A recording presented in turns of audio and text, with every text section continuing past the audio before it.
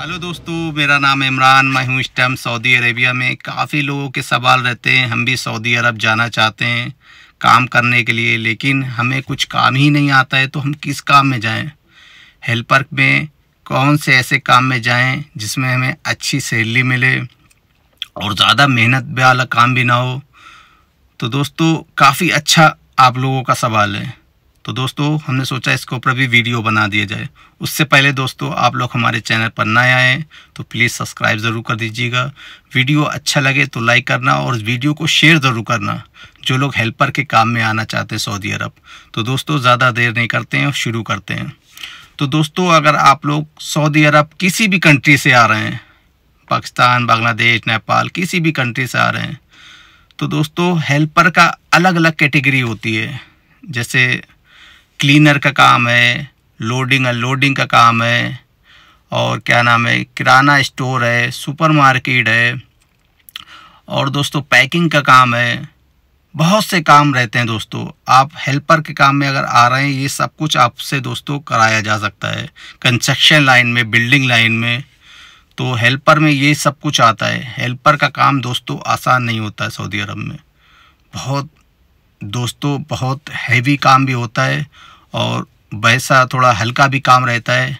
ये आपके नसीब के ऊपर डिपेंड करता है, आपको कैसा काम मिलता है। हेल्पर में सब कुछ कराया जा सकता है। तो दोस्तों, अगर आप लोग हेल्पर के काम में आ रहे हैं तो बहुत सोच समझ के आना। जिन बंदों ने कभी मेहनत नहीं करी है अपने देश में, वो लोग सऊदी अरब में हेल्पर का काम नहीं कर पाएँगे।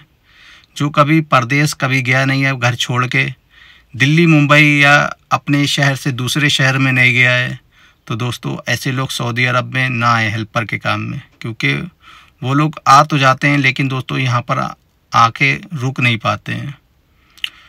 तो दोस्तों, ये सब बात कर लेते हैं। जो ये तो चलो छोड़ो, ये तो अगर आप लोग आ भी गए तो उनको सैलरी कितनी मिलेगी? तो दोस्तों, हेल्पर को सैलरी मिलती है अगर आप लोग किसी भी काम में आ रहे हैं। तो मेरे हाथ में देख सकते हैं, ये दो नोट है पाँच पाँच सौ के। करीब से दिखा देते हैं। शायद आपको उल्टा दिख रहा होगा ये। पाँच पाँच सौ के दो नोट हैं। करीब से दिखा दे रहे हैं। देख सकते हैं। ये दो नोट हैं पाँच पाँच सौ के। हेल्पर को इतनी सैलरी मिलती है। हज़ार से लेके बारह सौ रियाल तक इतनी मेहनत करने के बाद में। और दोस्तों, कोई कंपनी ओवर टाइम देती है, कोई कंपनी ओवर टाइम नहीं देती है। तो दोस्तों, इसमें ख़र्च वगैरह भी रहता है। अगर आप लोग, मान लिया ओवर टाइम करके पंद्रह सौ रियाल कमा लेते हैं, अगर ओवर टाइम मिलता है तो तो इतना आपका जो एक नोट खर्च हो जाएगा। तो दोस्तों जो है, ये इतना बचता है आपको गिर गया नीचे। इतना बचता है खा पी के। अगर आपको एक हज़ार सैलरी मिलती है तो ये खर्च हो जाएगा आपका। इतना ये कम से कम बता रहे हैं। अगर कंपनी खाना नहीं देती है, एक हज़ार सैलरी है तो दोस्तों इतना आपका खर्च हो जाएगा, पाँच सौ रियल। बचा कितना? बचा ये पाँच सौ। पाँच सौ इंडिया का कितना बना है? ग्यारह हज़ार रुपये दोस्तों, ग्यारह हज़ार में आप लोग इतनी दूर आएँगे। मेरा तो मानना, अगर हमसे कोई राय ले तो हम तो कभी भी ना आए। कभी भी ना बोलें हेल्पर के काम में आप लोग आएँ। क्योंकि ग्यारह हज़ार रुपये तो आप इंडिया में भी कमा सकते हैं। अगर किसी की मजदूरी वहाँ पे करेंगे तो पाँच सौ डेली मिलेंगे, पंद्रह हज़ार रुपये ऐसे बन गए।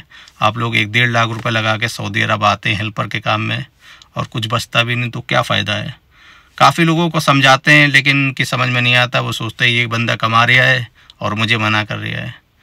तो दोस्तों, ये मेरा वीडियो रहता है नए लोगों के लिए। बाकी आपकी मर्ज़ी, अगर आप लोग आ रहे हैं एक हज़ार में, अगर आपको एक हज़ार रुपये में आ रहे हैं तो आप लोग आइए हमने बता दिया कितना बचेगा। एक बचेगा ये एक नोट एक खर्चा हो जाएगा।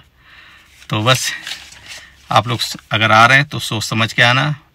और यहाँ पर हेल्पर के काम में कभी सैलरी नहीं बढ़ती है जितनी है इतनी रहती है। क्योंकि मुझे इतनी सालें हो गई हैं हमने कई लोगों का देखा है।